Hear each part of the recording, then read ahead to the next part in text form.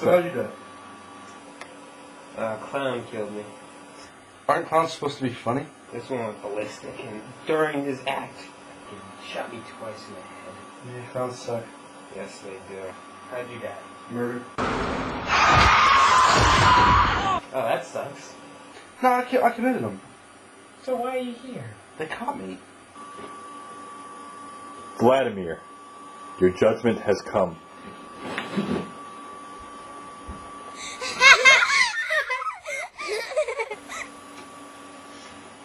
Oh, that was quick.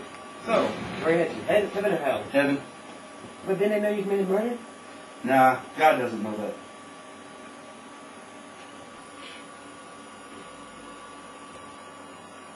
I thought God knew everything. Dragonfly, your judgment has come.